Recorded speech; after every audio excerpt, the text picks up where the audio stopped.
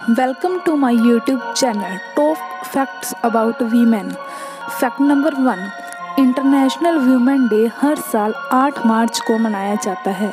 कई देशों में इस दिन की छुट्टी भी की जाती है। फैक्ट नंबर टू इतिहास में ऐसा पहली बार हुआ था कि किसी ओलंपिक में अमेरिका की टीम में पुरुषों से ज़्यादा महिलाएँ हों। 2012 की ओलंपिक टीम में 269 महिलाएँ और 261 पुरुष थे। महिलाएँ पुरुषों के मुकाबले अपनी आँखें दुगनी ज़्यादा झपकाती हैं। संसार से हर जगह औरतों की औसत आयु मर्दों से कहीं ज़्यादा है। महिलाएँ पुरुषों के मुकाबले लंबी ज़िंदगी जीती हैं।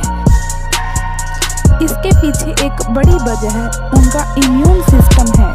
Thank you to watching this video